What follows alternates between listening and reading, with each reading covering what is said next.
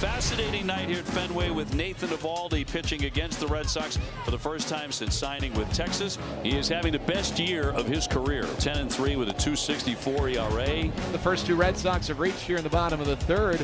Tied at one, and here's Rafael Devers. Driven into left field, racing back Grossman. Trying to deke, it's off the wall. Turner's rounding, and the Red Sox are out in front again. How does this ball get to the wall? See this swing? Just shows you how strong he really is. And now opportunity knocking for Duvall. Fly ball right field. Garcia has got a cannon. Yoshida to tag. And another run is in. Duvall will pick up his 20th RBI in a 3-3 game in the fifth. So Adolis on board for Josh Jung. Jung nearly homered his last time up. This one right down the line stays fair. Karams out toward left field. Garcia heads to third. Jung going for two, and they did not get him. Here comes Garcia. He'll score! And the Rangers take the lead. Well, I think a good throw, and you got him at home plate. So a 4-3 lead for the Rangers. They've got a man in scoring position here for Heim, who has singled in a run and line to right.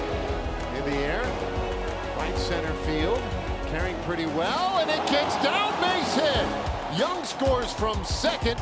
Jonah Heim with the RBI double. And just like that, the Rangers in front, 5 to three. Uh, Kike Hernandez, the batter against Grant Anderson. Batting with Devers at third, Duvall at second, Casas at first. And a 1-2 home. Lofted into left field, coming on. It'll drop in for a base hit. One run is in. Here comes the second run to the plate. They will score. What a read. What a read.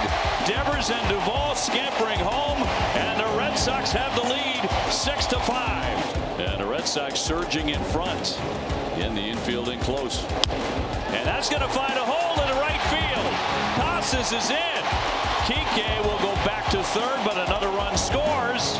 So the Sox in front seven to five. Connor Wong with runners in first and third. And a liner up the middle for a base hit. Another run is in. Kike will